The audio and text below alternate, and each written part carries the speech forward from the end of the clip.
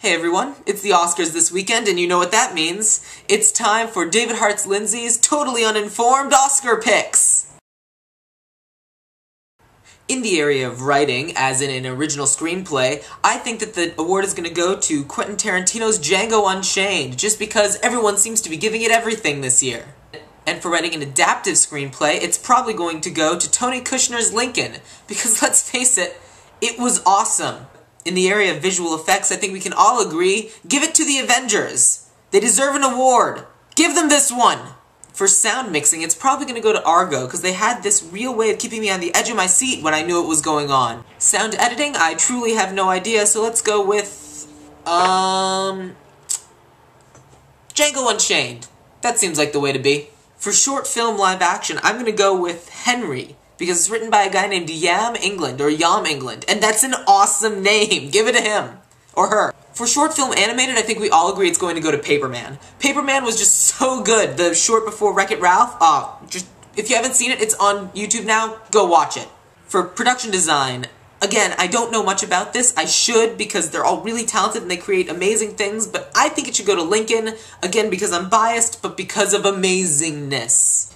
For a music original song, I think it's probably going to go to Skyfall for Skyfall. For music as an original score, for some reason I feel like it's going to go to Life of Pi.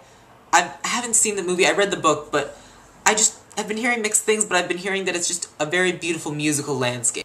For makeup and hairstyling, I'd say absolutely give it to Les Mis. They nailed the period. Whatever your qualms are about the movie, granted I liked that movie, but whatever your qualms are about that movie, they looked the part. For foreign films, again, I've heard of none of these, but since Canada's nominated, we're going to go with War Witch. For film editing, uh... Argo.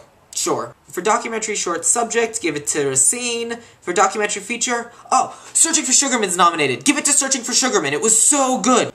For directing, I think Ben Affleck probably deserves to be nominated, so I'm a little disappointed that he's not even in this category. But given that he's not, I'm honestly tempted to give it to Silver Linings Playbook. David O. Russell did a really good job, and so give it to him. Why not? Costume design's going to Lincoln. Who are we kidding? It's a period piece that's very popular. Cinematography's probably going to go to Django Unchained. I have opinions about Best Animated Feature Film, and those opinions make me lean towards Wreck-It Ralph. I'm going to say if Brave wins, I'm going to be very disappointed because it shouldn't. It didn't deserve it this year, and Pixar should not be rewarded for what they've done. Actress in a supporting role? Anne Hathaway. We all know it's bound to happen.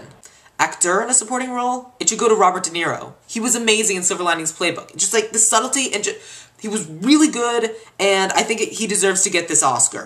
Now for actress in a leading role, I'm a little bit split. I haven't really seen most of the movies nominated, I thought Jennifer Lawrence did a really good job, but from what I've been hearing about Zero Dark Thirty, I'm kind of tempted to give it to Jessica Chastain just because it was her movie and like she sells it. Actor in a leading role, it's going to Daniel Day-Lewis. For Lincoln, there's no question. He was just, he was Lincoln. Now, for Best Picture, I know, I know, everyone's saying Argo, and frankly, it probably will get it, but I think the best movie this year was Lincoln.